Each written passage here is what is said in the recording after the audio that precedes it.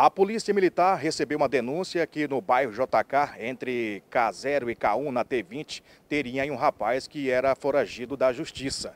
É, realmente foi comprovado, porque a guarnição chegou ao local e acabou então na residência encontrando o rapaz aí de 24 anos de idade. Ele acabou se ausentando, não compareceu nas audiências né, que a justiça né, marcou para ele. Então, como não apareceu nessas audiências, a justiça aqui do estado de Rondônia acabou emitindo né, um mandado de prisão contra ele. E a Polícia Militar, quando recebe essas informações, checa né, é, em detalhes aí para realmente, se for comprovado, traz aqui para a Unisp para ser apresentado o delegado de plantão, aí sim tomará as providências cabíveis. Então, mais um caso aí de um foragido, o camarada recebeu essa situação aí, foi marcado o dia, não compareceu, o caso dele é pelo um furto. Possivelmente, acho que ele cometeu um furto em um supermercado aqui na cidade de Jiparaná e a justiça, então, marcou audiência, não compareceu, como se ausentou, foi emitido então aí um mandado de prisão contra ele que foi cumprido na manhã deste sábado aqui em Ji-Paraná, no bairro JK.